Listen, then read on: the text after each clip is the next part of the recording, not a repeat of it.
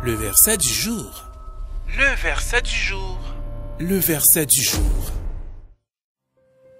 Somme 2, verset 8. Demande-moi et je te donnerai les nations pour héritage, les extrémités de la terre pour possession. Somme 2, verset 8.